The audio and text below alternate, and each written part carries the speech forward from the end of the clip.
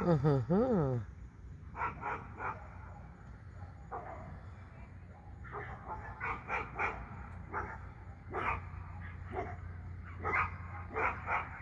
Did that chemtrail do that?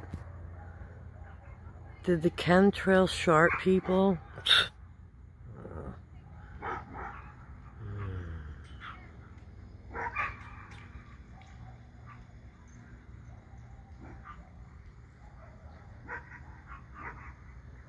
They brought, the clouds down for the sunset.